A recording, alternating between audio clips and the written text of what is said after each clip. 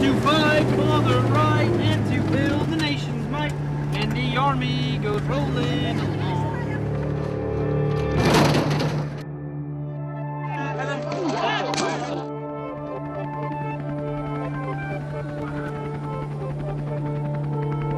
It's harder to end a war than begin one. Everything that American troops have done in Iraq, all the fighting, and all the dying, the bleeding, the building, and the training, and the partnering, all of it has led to this moment of success.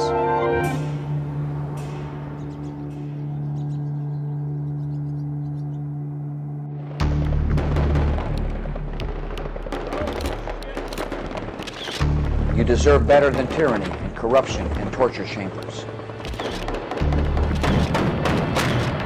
You deserve to live as free people. And I assure every citizen of Iraq, your nation will soon be free. Thank you.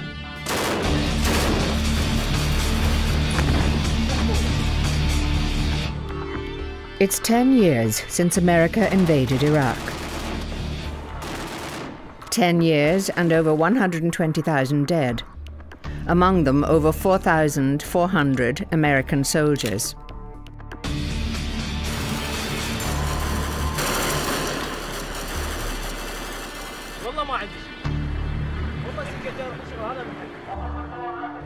This documentary tells one of the great untold stories of the Iraq War how the US administration funded a deadly, sectarian, paramilitary force to fight those threatening the American presence. It was a decision that helped fuel a sectarian civil war that ripped Iraq apart.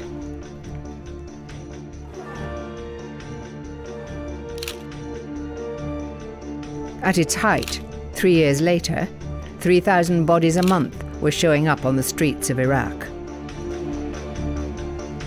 This is also the story of the man the Pentagon sent in to organize and train those paramilitary squads. He's a veteran of America's so called dirty wars, stretching back to Vietnam and El Salvador. This man was so important to the Pentagon that the then Defense Secretary, Donald Rumsfeld, saw fit to forward his personal memos to the President and the Vice President. To President George W. Bush, CC, Vice President Richard B. Cheney, from Donald Rumsfeld. The attached memo is from a person we have sent into Iraq from time to time, essentially to work with the Iraqi police. He is smart, tough, and a keen observer. Nonetheless, you have said you like texture, and this is texture. The name Steele was very well chosen, with very steely eyes, and he communicates a steely sort of intent about things. He did have much higher clearance than the rest of us did. And he would make vague references to meetings with the Secretary of Defense and meetings in the White House. I witnessed him observing the crime of a prisoner being tortured in front of him. We're in a room in the library interviewing Steele, and I'm looking around, I see blood everywhere. So, who is James Steele, and why did the Pentagon choose him to go to Iraq?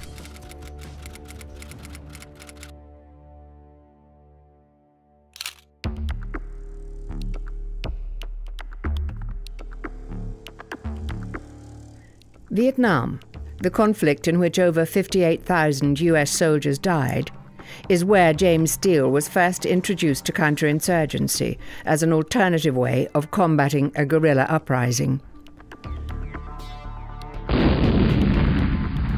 Steele served in the Vietnam War in the Black Horse Regiment from 1968 to 1969. He was described by General George Patton Jr. as the best troop commander in his regiment.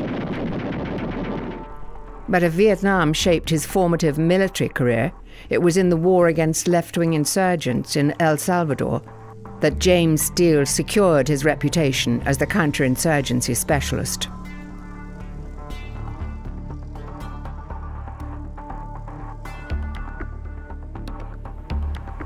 Steele arrived in El Salvador in 1984 as the leader of the U.S. MilGroup, a group of U.S. military advisors to the El Salvadoran army. Todd Greentree got to know James Steele when he was working in the U.S. Embassy in El Salvador at the time. Colonel Steele, as the MilGroup commander, was in charge of all of the Special Forces teams, the, the training teams that were out at the, the, head, the brigade headquarters. The U.S. was trying to defeat a guerrilla insurgency, and American experts trained the Salvadoran security forces in the dark arts of counterinsurgency. Some of these Salvadoran paramilitary units were effectively death squads. Celerino Castillo was a U.S. drug enforcement agent who was involved in training these paramilitaries. He was widely acknowledged for his efforts. Castillo met James Steele in Salvador. Uh, very military type, very disciplined. Uh, his decorations, uh, uh, medals and stuff that that was uh, given to him by the U.S. military and the Salvadoran military were surrounding his office. So I was very impressed with Colonel Steele. Dr. George Vickers got to know and like James Steele when he visited Salvador to write a PhD thesis on U.S. military strategy in Central America.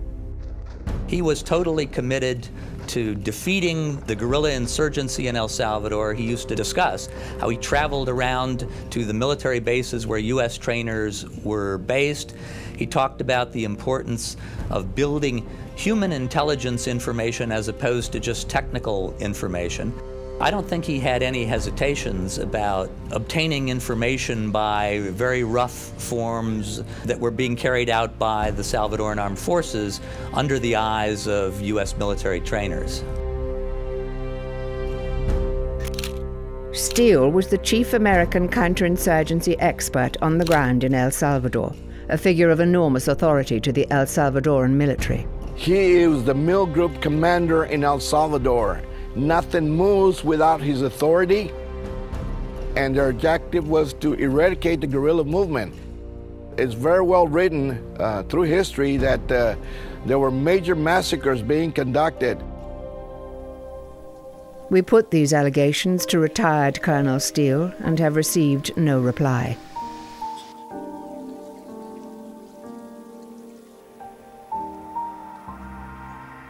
By the end of the Civil War, at least 75,000 Salvadoran civilians had died, and 1 million refugees had fled the country. The Salvadoran military halted the advance of the guerrillas, leading some in Washington to believe the U.S. advisory role was a success. So much so that even David Petraeus, then an ambitious 33 year old major, visited El Salvador to study this counterinsurgency campaign. The young Petraeus even reportedly stayed in Steele's house while there.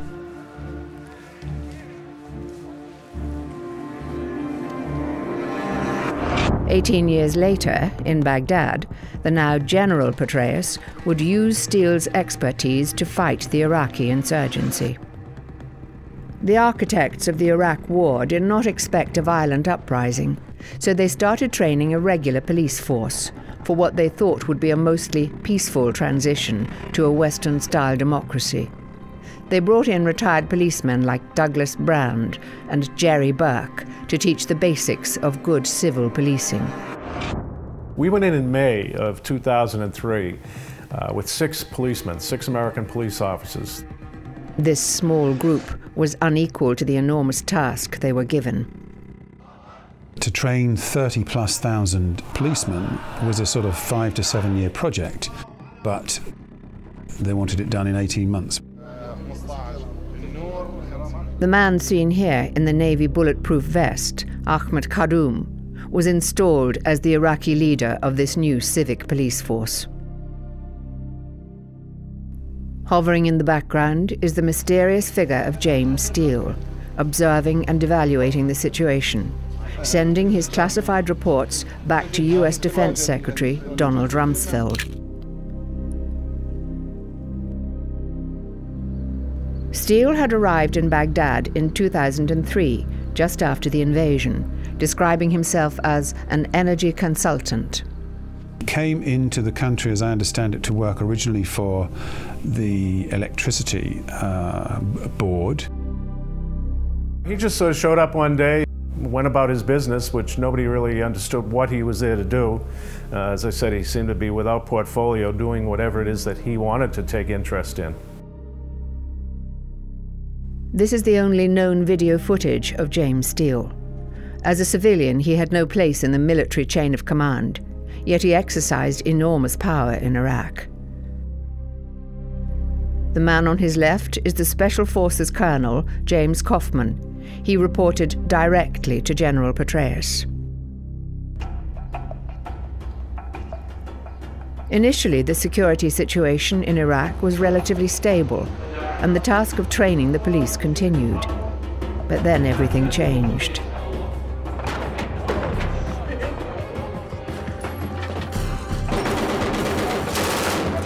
The intensity of the Sunni insurgency surprised the Americans. US soldiers started being killed in increasing numbers. Flag draped coffins were being shipped home with numbing regularity. The war was becoming unpopular in the United States. George Bush's 2004 re election was being threatened by the crisis in Iraq.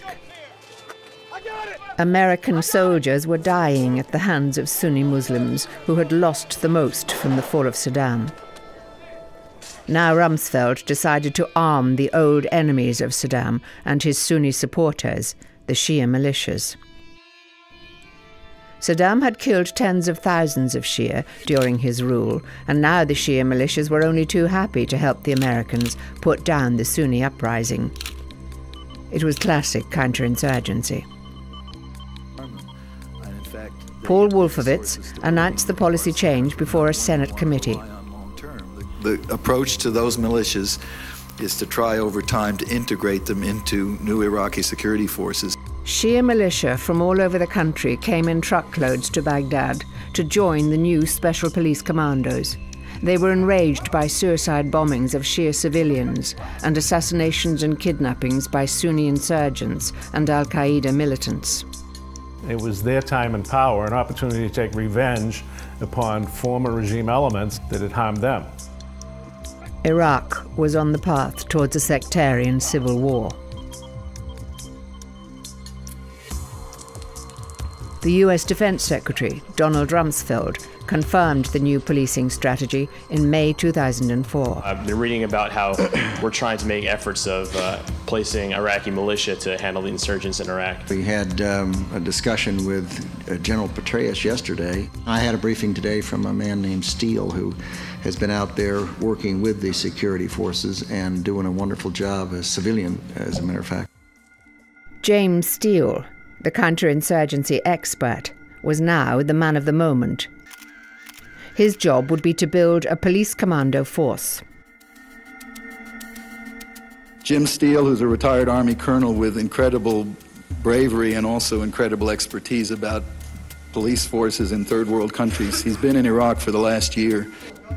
The police units would increasingly be made up of members of Shia militias like the Badr Brigades. Their job was to hunt down Sunni insurgents and their sympathizers. Like El Salvador, it would be a bloody and brutal business. There was no place in this new regime for a conventional police chief like Ahmed Karoum. He was offered a new posting at the United Nations in New York. James Steele was clearing house.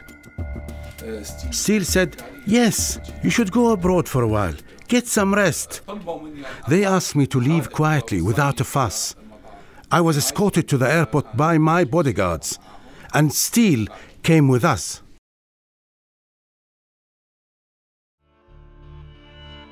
It was also the end of the line for Douglas Brand. Rumsfeld decided that police training in the future would be dealt with by military people. That was a direct instruction from Rumsfeld.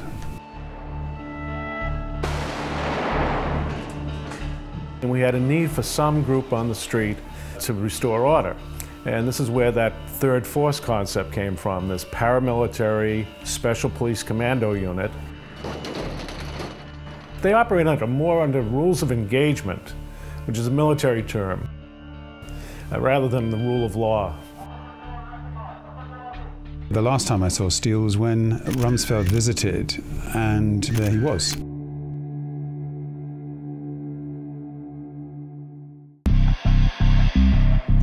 Rumsfeld's choice to take overall command of this new policing strategy was a military star in the making. General David Petraeus was much admired by the American media. The commandos would become the cutting edge of this ambitious general's war against the insurgents. Now, I've spent a little bit of time at the where you were training the police commandos, and I got the strong impression that you're putting a lot of priority on the police force today. Well, we've helped them develop these uh, special police units. Uh, some of them were their own initiative initially, and great initiatives like the Special Police Commandos, which they now have uh, nine battalions of those forces, uh, eight of which are in active operations right now. A directive by General Petraeus ordered the formation of these units. But the people who were directly supervising us were Colonel Coffman and the advisor, James Steele.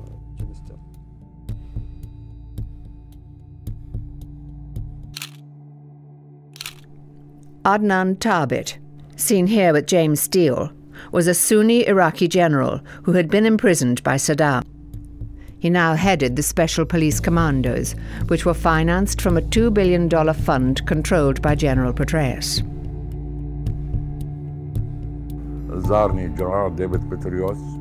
General David Petraeus visited me and he started joking with my soldiers. They were all playing press up games together, and he could see the seriousness of our training. And after that, he sent me two advisors, Steele and uh, Colonel Coffman. After this first visit by General Petraeus, he promised he would help us in every possible way. And the first help we received from him was he sent me a shipment of 150 Dodge pickup trucks.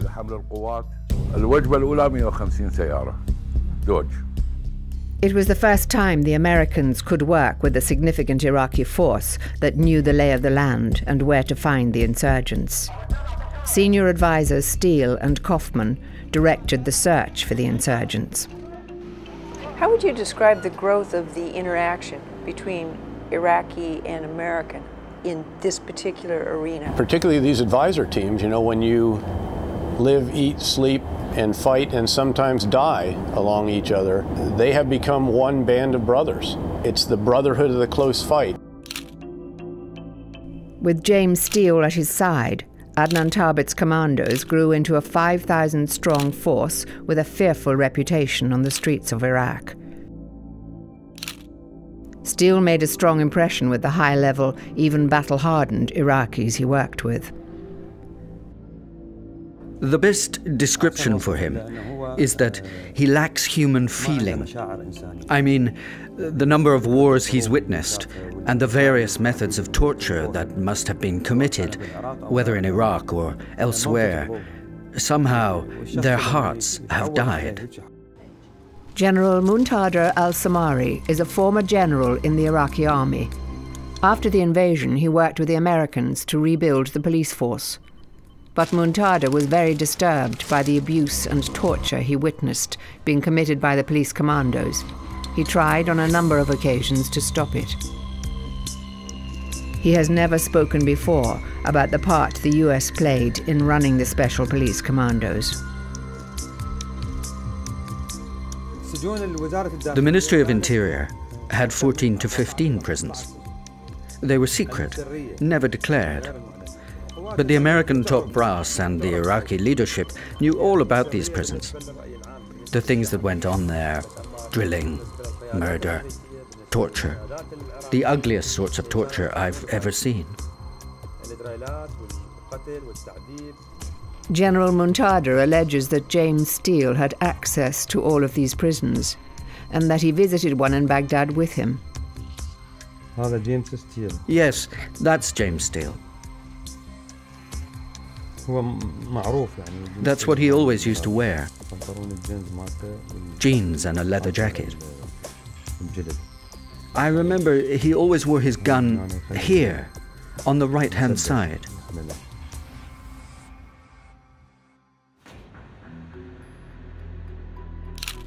Dr. Mofak Al Rubai was Iraq's national security advisor through the worst years of the war.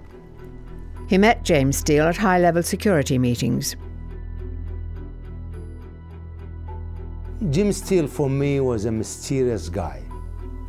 We sat in the meeting and he came at the end, pulled the chair and sat there.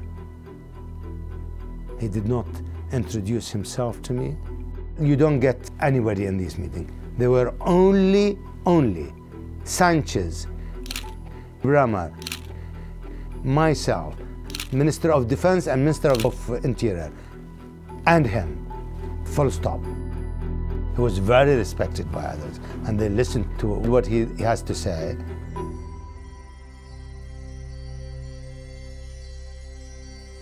One of the main bases of operation for the commandos was the ancient city of Samarra. The area was a center for the Iraqi insurgency.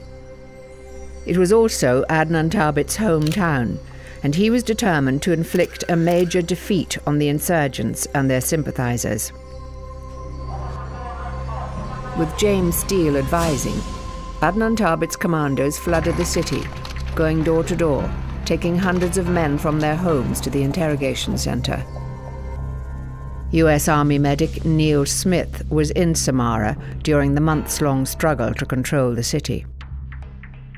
We were like in a government zone in Samarra, and uh, where the police station was, was actually right across from where the uh, commandos were headquartered. So there were always uh, special commandos there hanging out, and they wore the maroon beret, like pretty much every uh, elite military unit in the world does. They're well equipped. Like the MOI commandos all had these brand new Dodge Ram pickups that were painted in camouflage, and they all looked like they had new weapons and new uniforms.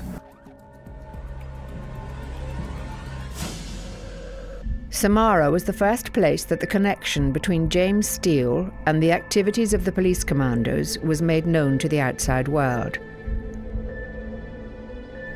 New York Times journalist Peter Maas convinced General Petraeus to allow him and photographer Gilles Peress to visit the commandos in Samarra. Their host was James Steele. What I heard is, is prisoners screaming all night long. You know, at which point you have the young US captain telling his soldiers, don't come near this thing. Gilles Peress's stark black and white photographs capture how the commandos worked in Samarra. James Steele crops up in these photographs repeatedly.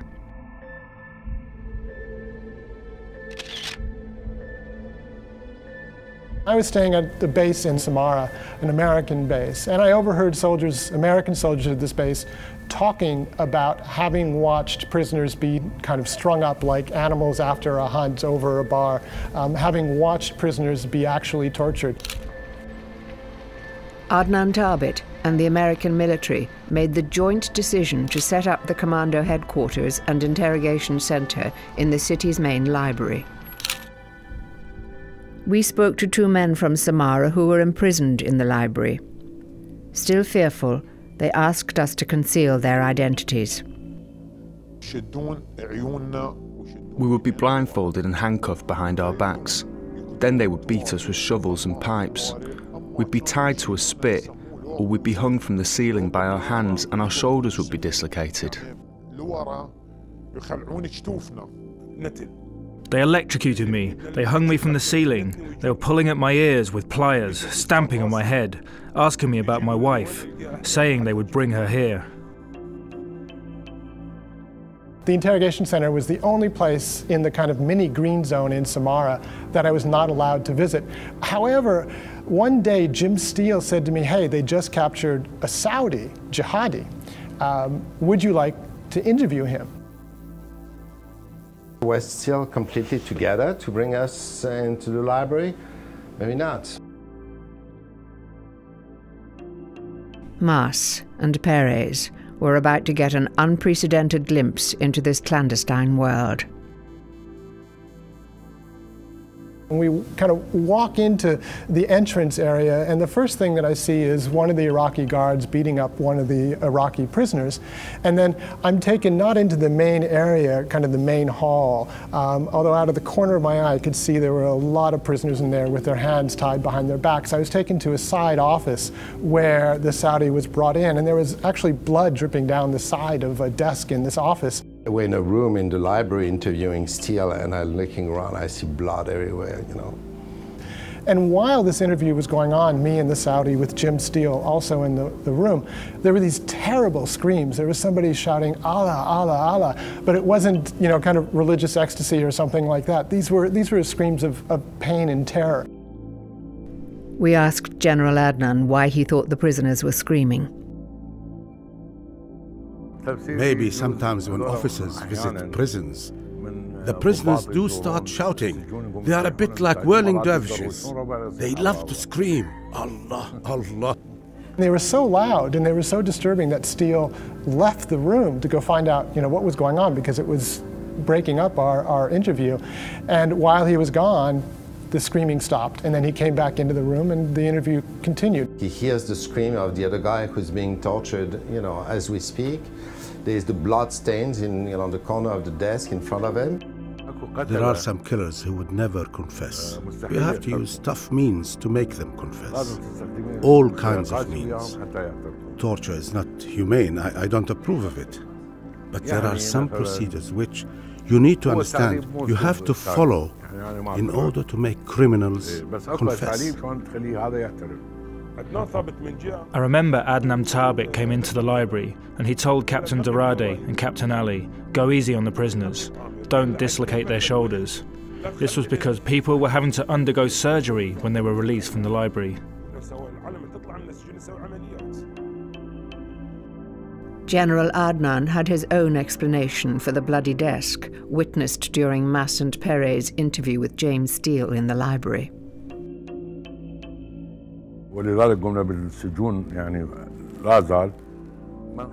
What we had started to do was to make sure that the terrorists didn't have any sharp knives or anything they could harm themselves with, because they used to cut themselves and blame us.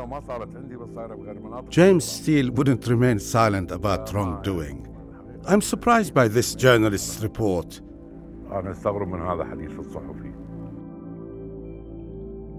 Although James Steele did not respond to our requests for an interview about his activities in Samarra, he did tell the New York Times that he opposes human rights abuses.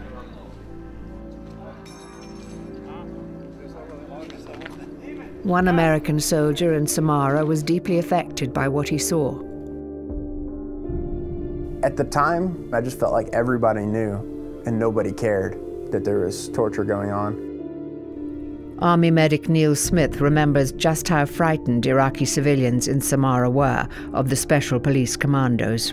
What was pretty widely known in our battalion, definitely in our platoon, was that they were pretty violent with their interrogations, that they would uh, beat people, shock them with uh, you know, electrical shock, stab them. Um, I, I don't know what all else, you know, sounds like pretty awful things. If you sent a guy there, he was going to get tortured and perhaps raped uh, or, or whatever, humiliated and um, just brutalized by the special commandos in order to get whatever information they wanted. I remember a 14 year old who was tied to one of the library's columns. And he was tied up with his legs above his head. Tied up. His whole body was blue because of the impact of the cables with which he had been beaten. The clear priority at that time in Iraq was to not have this incredibly shaky provisional government defeated by the insurgency. That was priority number one to which every other priority, democracy, human rights, etc., was subordinate. Petraeus defended his record with the police commandos to PBS Frontline's Martin Smith. He says he was aware of individual militia members in the commandos, but not militia groups. I did not see militia groups uh, in the special police during the time that I was there. Did you think about what you could have done differently, might have done differently? To have prevented the development of these militias that were effectively well, developing I, under your watch? I again don't. I have not seen. You know, we we kept hearing this all the time, Martin, that this uh, or that. Uh, to find the absolute evidence of this has actually been quite difficult. But Jerry Burke, who was a senior advisor in police affairs to the Iraqi Interior Ministry, says that Petraeus must have known that organized Shia militia were dominant in the police commandos.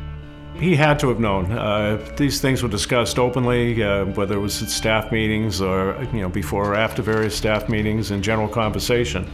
Uh, pretty much the whole world in Iraq knew that the police commandos were about a brigade. He must have known about the death squad activities. Um, again, it was common knowledge across Baghdad. Even Petraeus's own special advisor in the military chain of command, Colonel James Coffman, was, according to many witnesses, working side by side with James Steele in the detention centers where torture was taking place. Colonel Coffman declined to be interviewed by us. About General Petraeus's relationship with James Steele, the official speaking for the general said, Steele was one of thousands of advisors to Iraqi units working in the area of the Iraqi police. Journalist Peter Maas, who interviewed Petraeus at the time, remembers the relationship being a lot closer than the Petraeus statement would indicate. It was very clear that they were very close to each other in terms of their command relationship and also in terms of their ideas and ideology about what needed to be done. Petraeus explicitly told me that he believed very, very strongly in the commandos thought the commandos were successful and wanted them to become bigger, stronger, and even more prevalent in the fight against the insurgency. International humanitarian law imposes obligations on those engaged in armed conflict regarding the treatment of prisoners. Not only must prisoners not be abused, but those detaining prisoners also have an obligation to ensure respect as well it is not acceptable to turn a blind eye. It is absolutely the responsibility of every U.S. service member, if they see inhumane treatment uh, being conducted, to intervene to stop it. I don't think you mean they have an obligation to physically stop it, it's to report it. If they are physically present when inhumane treatment is, is taking place, or they have an obligation to try to stop mm -hmm. it. But the masses of secret Iraq war communiques, released by WikiLeaks, showed that US soldiers were routinely handing prisoners over to the Iraqi police force, even before the police commandos were officially launched. The top US military knew from the soldiers' daily logs that torture was going on inside detention centers. They even issued a new official military order in June 2004 it was called Frago 242. It directed US troops to note, but not investigate, torture of Iraqis by Iraqis, unless ordered to take action by headquarters. But later that month, members of the Oregon National Guard were so disturbed by the abuse they witnessed at a police detention center that they intervened to try and stop it. I saw some horrific things. I saw uh, one room that had um, 75 prisoners all crammed into one, one small space, and, and they asked for food, they asked for help, and they asked for uh, medical aid. We gave them every bit of scrap of food that we had, every bit of water. You could see evidence of, of a torture chamber where they had a broken uh, lamp, where they used electrical shock, and it was just, it's quite evident what they had been doing to these fellows. Southel's commander approached the man who appeared to be in charge of this torture centre. According to Southel, The man immediately got on the telephone to U.S. military headquarters. Right after he made that phone call, the order came that we were to stand down. We were ordered to pull away right now. I know that it, that order came from someplace very high. We went directly back to our compound, and um, the commander called us all in there together and told us that what we saw didn't happen and to forget about it. But the Oregonians didn't forget. They went to the American press and blew the whistle. A high level US military investigation followed, and the torture stopped there. There is no evidence that Steele was involved in this incident, but a year later, the special commanders took over the facility and used it for interrogation and torture.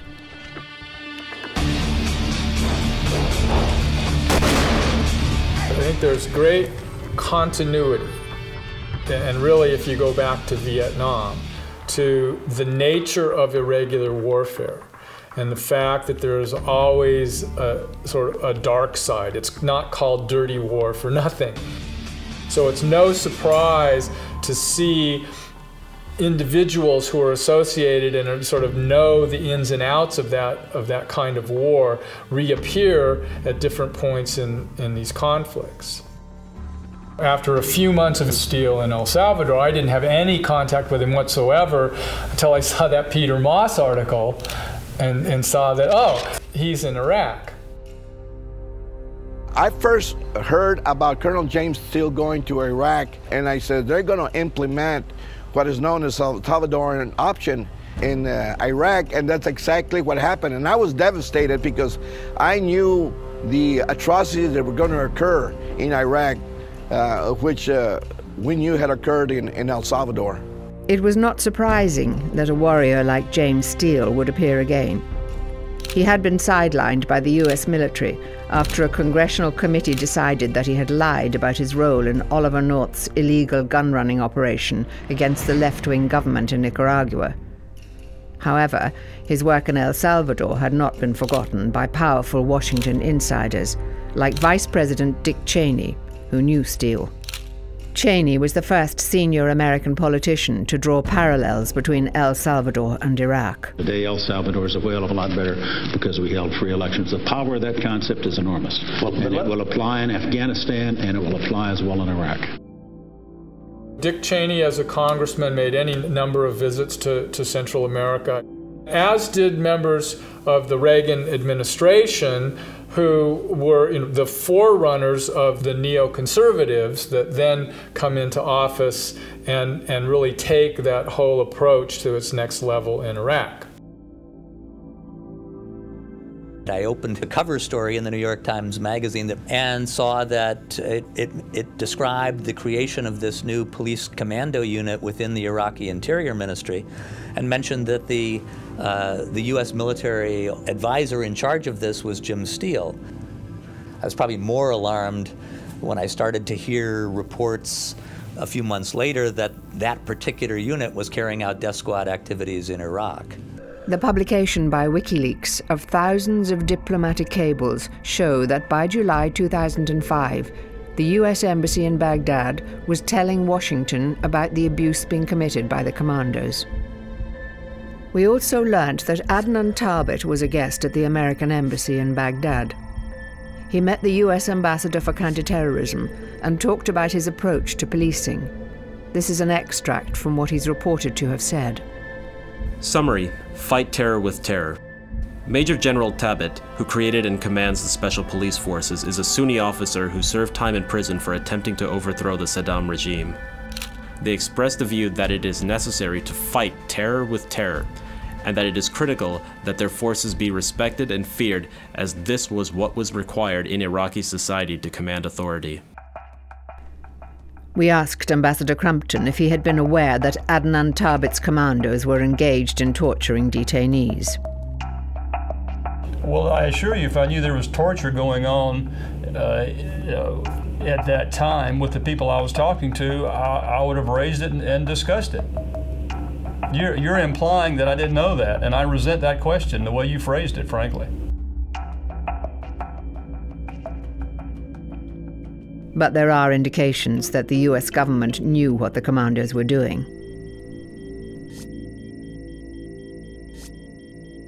We remain troubled by the indications that at times units commanded by Thabit crossed the line. Despite these concerns, Adnan Thabit remained officially in charge until the middle of 2006. He told us that the American officials he dealt with were aware of what his men were doing. Until I left, the Americans knew about everything I did. They knew what was going on in the interrogations, and they knew the detainees. And even some of the intelligence about the detainees came to us from them. They are lying. The police commandos were growing in numbers and importance. They had a national headquarters in Nisour Square in Baghdad. It could hold around 1,000 detainees at any one time and was the nerve center of a national network of interrogation centers. This notorious detention center was situated just outside the fortified Green Zone and less than a mile from the American and Iraqi Joint Command. Major General Muntader remembers that James Steele and Petraeus's military advisor, James Coffman, were a constant presence here. He says they were there to receive the high-value detainees from the so-called intelligence committees that operated at each regional commander center. James Steele uh, would come to meetings every day in Nisour Square. We'd all have a big lunch feast together. On a daily basis, the Americans, because Nisour Square was near the American base, they had breakfast with General Adnan Thabit, and then at 12 midday, they had lunch with him. They didn't leave Nisour Square until very late at night.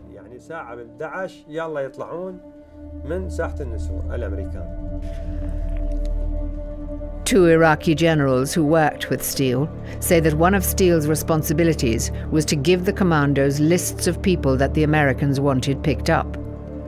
Steele would then allegedly arrange to transfer them to a US run interrogation center near Baghdad airport. Colonel Steele is one of the few people who understands how to organize and conduct intelligence driven operations against specific targets in the leadership and operational cells of, of an insurgency or terrorist organization. Getting that intelligence from detainees was routine for the commandos and their American overseers.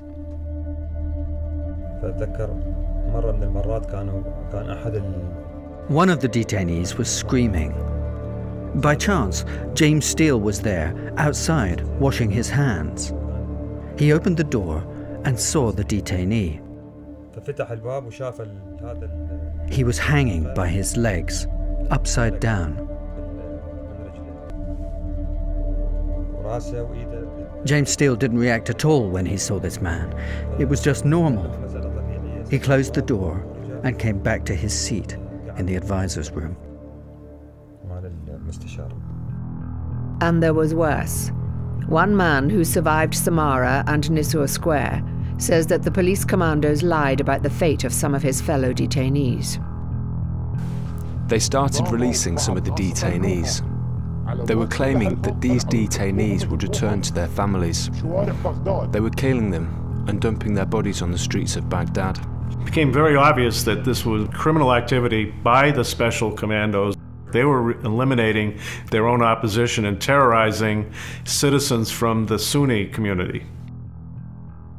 We lost the support of a lot of Iraqi citizens who became very cynical and very anti American, even the ones who were friendly with us couldn't understand why we were allowing this to happen.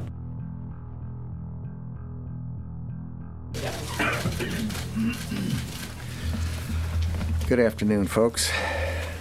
Are you concerned over, and in fact, is the United States looking into growing reports of uniformed death squads in Iraq, perhaps assassinating and torturing hundreds of Sunnis? And if that's true, what would that say about stability in Iraq?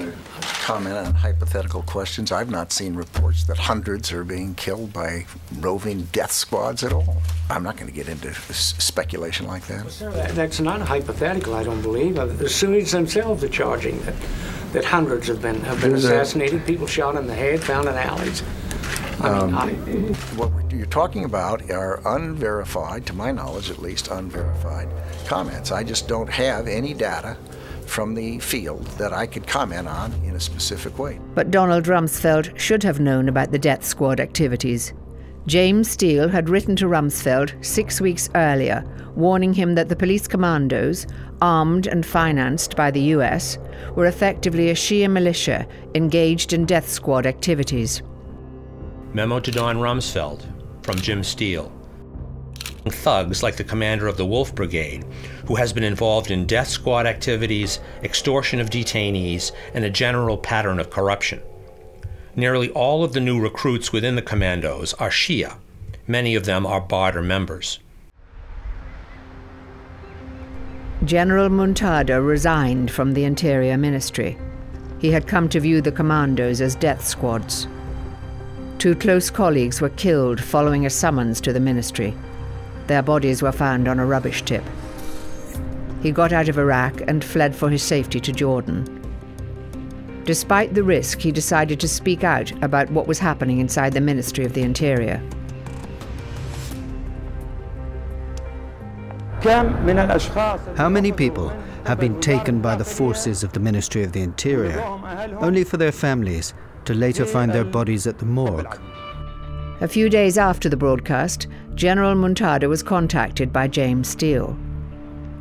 It seemed that former Colonel Steele had made an unexpected trip to Jordan. He was very anxious to meet with Muntader. James Steele was staying at the luxury Sheraton Hotel in Amman.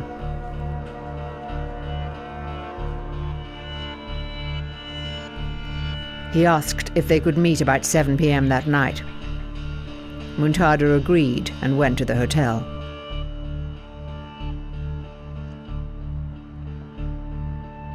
استغربت من هذا السؤال مالته He was asking me about the prisons.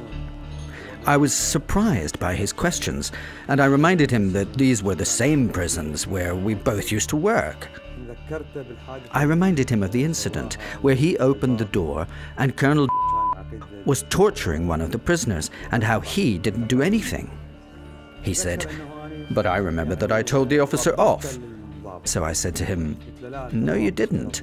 You didn't tell the officer off. You didn't even tell General Adnan that this officer was committing human rights abuses against these prisoners.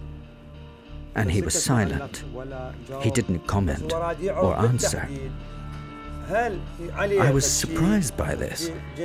He wanted to know specifically Did I have any information about him, James Steele? Did I have any evidence against him? Photographs, documents, things which proved he committed things in Iraq, things that he was worried that I might reveal. This was the purpose of his visit.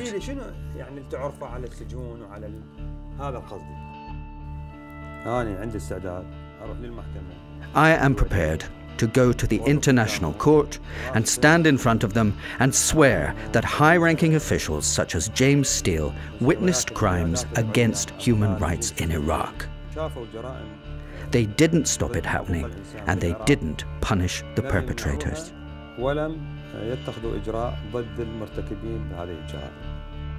People should know about what was going on because I was shocked when I came back to the States and found out that most people didn't even know that we were involved in torture over there.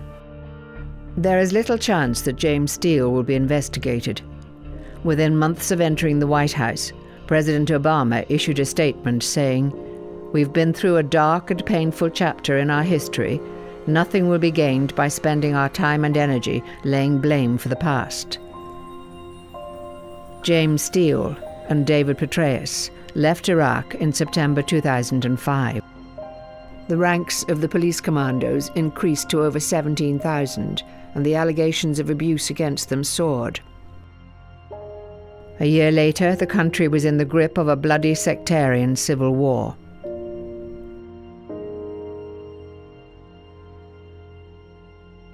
At its height, the civil war was claiming the lives of 3,000 people a month. Some were so badly tortured they could not be identified.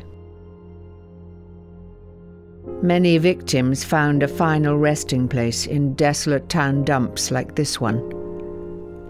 A rusty tin can marks each grave. Adnan Thabit has now retired on an Iraqi government pension and lives in Jordan. Donald Rumsfeld resigned as Defense Secretary at the end of 2006. He never replied to any of our questions. Rumsfeld had presented James Steele with the Distinguished Public Service Medal for his extraordinary service in Iraq. Steele is now living in Bryan, Texas, and gives occasional lectures on counterinsurgency. He did not respond to our many requests to be interviewed for this documentary.